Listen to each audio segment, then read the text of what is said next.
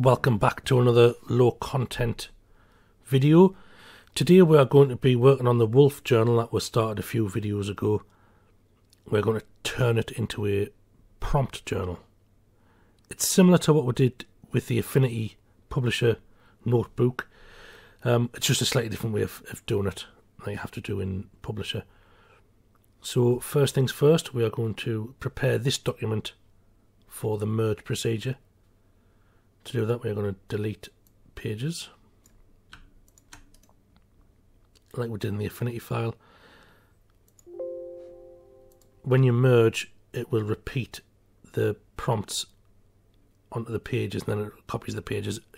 If you didn't delete these pages and just merge, you'll have a like a fifteen thousand page book, which is expensive to print. Um, so the next thing we're going to do is I'm going to copy that. But then we are going to delete this page again. If we don't delete this page it will just repeat. And then the final thing we're going to do to this document is go to the master page and I'm going to delete these page numbers because we don't uh, need them. They just make things a bit more complicated. So in the Affinity Publisher print merge, we uh, we put the prompts into the master file. You don't do that in Publisher. You do it directly onto the onto the pages you're working on. So I want to um, have a prompt on the blank page and leave the wolf um, by itself. But to do that, I'm going to have to put the prompt up here.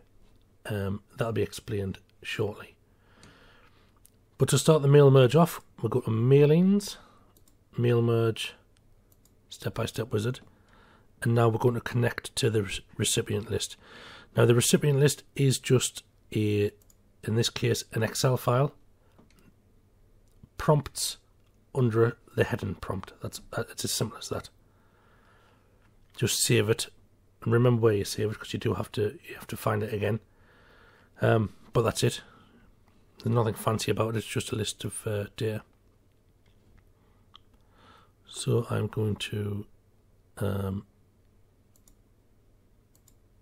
connect to a new recipient. Now save this in downloads. You could have anything in that list of prompts, by the way. If you're trying to do, as I mentioned before, you know, um, a, a joke writing guide or a, something to help with writer's block, you could have little writing prompts up there. Um, this is more for like a, a mindfulness sort of thing. So this is the file. It was prompts test xlsx. Um, and these are all of prompts. If you want to exclude any or remove them from the option, just tick the tick box, but I want them all in.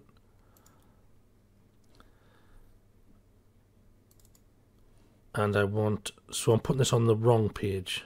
I don't want want the prompt on this page but um, it'll work out in the end. Remember to make your text box as big as your prompts will be. Ours been quite big. Um, better better to be too big than too small. And then again we can mess about with fonts and um, you know uh, size and things like that. The next thing to do is to create the merged publication. And on this option we want to merge to a new publication. So it won't destroy this file. It'll create a new publication with the prompt and the merge all sorted. And there we go. That's the prompt. That's the font I chose. Um, it's still on the wrong page but that's fine the reason we took the page numbers off is because this would be 1, 2, 1, 2, each page would be 1 and 2 all the way down. And that's not what we want. We are missing the title page. So we'll insert a page before, and we just want one. There we go, it pushes everything. It pushes everything on one.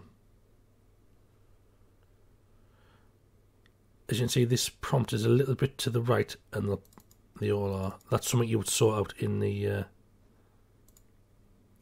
in this one here. I could pull that slightly further to the left um, to line up a bit better, and then just remerge. I'm not going to do that now because this is, you know, it's good enough for demonstration purposes, uh, and that's it. So ignore this one two one two one two. That's just the pages that have been repeated over and over again. You can still export it as you would normally. You can also still go to the um, to the master page, and you could add add stuff in here. Um, you know, it's not. Uh, it, it's still technically the same. I'll just have a quick. I'll just insert a shape. Have a square. So let's square that off.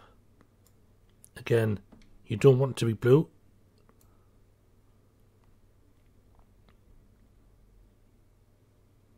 But it's fine. I'll uh,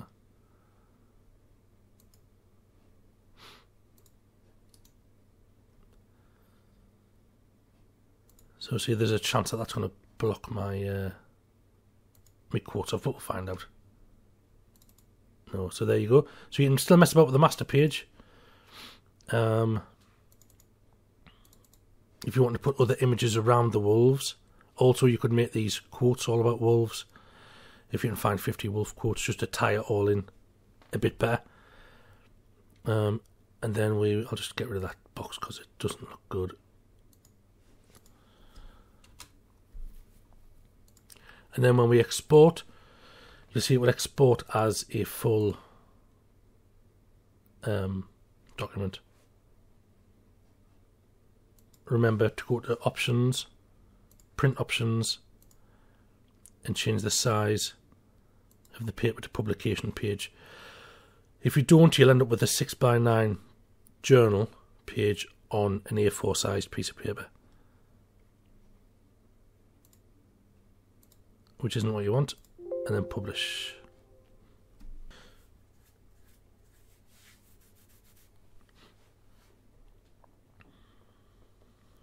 So yeah, instead of just having those sort of mindfulness prompts, you could have anything in that Excel spreadsheet. Um, writing prompts, you could have uh, joke setups where you encourage people to, to try and guess the end of a joke or even write a new one.